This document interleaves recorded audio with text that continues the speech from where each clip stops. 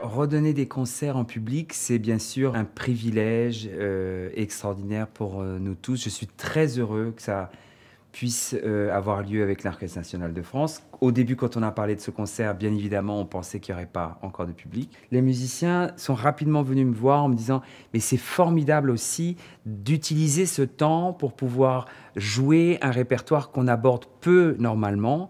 Et c'est vrai aussi, comme les musiciens sont à par pupitre, ils ont une autre euh, écoute de leur jeu, une autre écoute d'ensemble.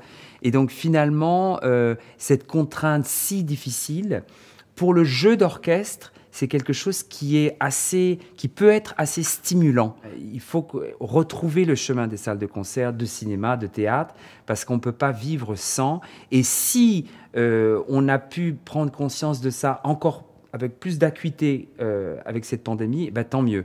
Du fait du manque de pouvoir revenir au concert. Il faut venir au concert absolument.